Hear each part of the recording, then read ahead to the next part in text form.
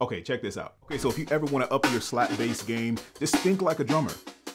Listen to the drums. Try to mimic exactly what you're hearing.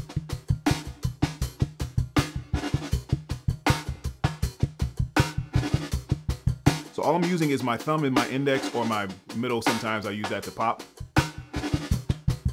I'm just mimicking exactly what the drums are doing. So listening to the hi-hat, there's no kick drum on this track, but listening to the hi-hat, the accents of the hi-hat and the accents of the snare. Listening to those accents.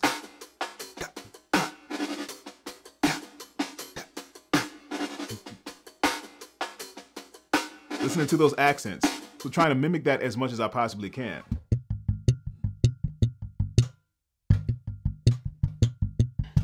And in this case, the pattern that I'm doing is thumb, pluck, thumb, thumb, pluck, okay? So I want to take it slow, want to go through the pattern, just so you can use this. I'll give you another example of a pattern as well, using a drum rhythm. Uh, we'll talk about that a little bit later. So in this pattern, I'm playing thumb, So you can think about it almost like a drummer you using right hand, left hand, you know, right, left, right, right, left. You can think about it like that. So thumb will be your right, the pluck will be the left. So right, left, right, right. So you get it? Anyway, so the octaves, I'm just playing in the key of G, staying right there, not really making it too complicated. I want you guys to get the rhythm first, to get the rhythm down, to be able to groove and gel with the rhythm first before you start moving it around like I was doing in the beginning. So, all together, one, two, three, four. Very simple. Here we go again. One, two, three, four. Thumb, pluck, thumb, thumb, pluck, thumb, thumb, pluck. Or you can think right, left, right, right, left. You do right, left, right, right, left, right, right, left, right? If that makes more sense to you as a drummer. So I know a lot of bass players uh, become, you know, flip that around.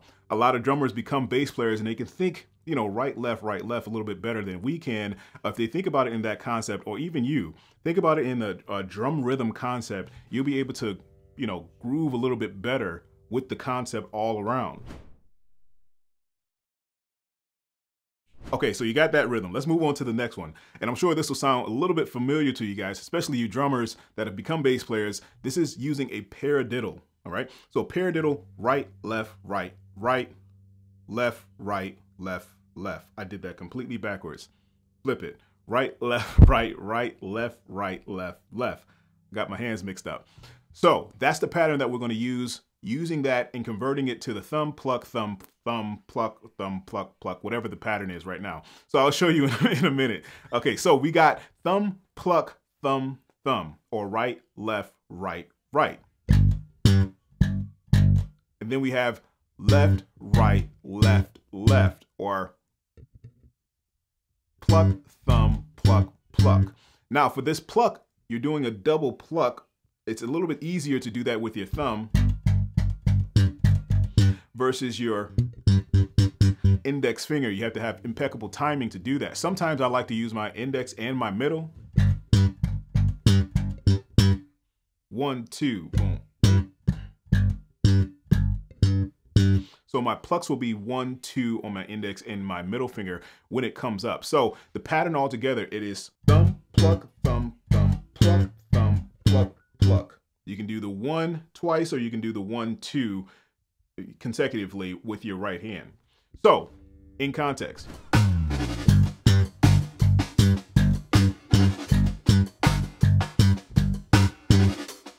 Okay, so you see how that sounds a little bit different. It feels a little bit different than the first one uh, versus using the one pattern the whole entire time versus the paradiddle pattern. So I'll show you back and forth between the two patterns, how they sound and how they feel. So pattern one, one, two, three, four.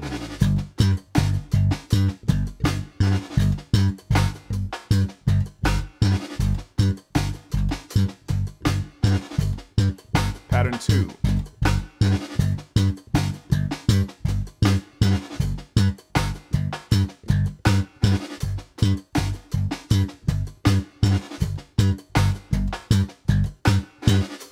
You see how that sounds different? The different feels a little bit tougher to do the paradiddle pattern, but what I like to do once you get used to it, I like to start moving that pluck pluck around. I like to use a maybe a hammer on and a, and a pull off or uh, just different fretted notes to go inside of that. So I'll show you an example. Two, three,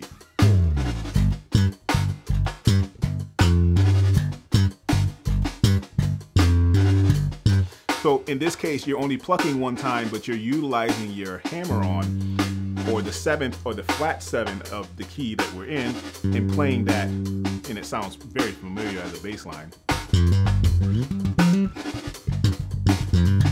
Okay, so I'm using that to my advantage and it still has that pluck pluck pattern.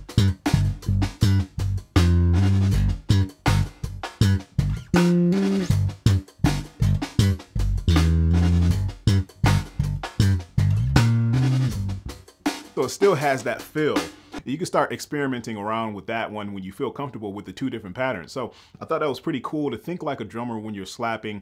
Uh, this can go on for days. You can get a little bit more, a lot more advanced with it, uh, with different patterns and things like that. If you want to know more about slap bass period or just start from the beginning, we have a whole entire course at Bass Nation Academy. Uh, we have tons of courses on slap bass uh, and tons of lessons and tutorials to get you started in the right path and just excel your bass playing to that next level. So go check that out. Link is in the description. And also, if you happen to be new here and you haven't subscribed already, I would great, well, first of all, let me introduce myself. I'm Daric Bennett, founder and instructor of Bass Nation Academy. Uh, and I would greatly appreciate it if you became a part of the YouTube family and hit that red subscribe button and also hit the notification bell icon so you can get notified every single time we upload a video here on YouTube. Make sure your notes are coming out clean, clear, and precise. And I'll catch you guys in the next one. Peace.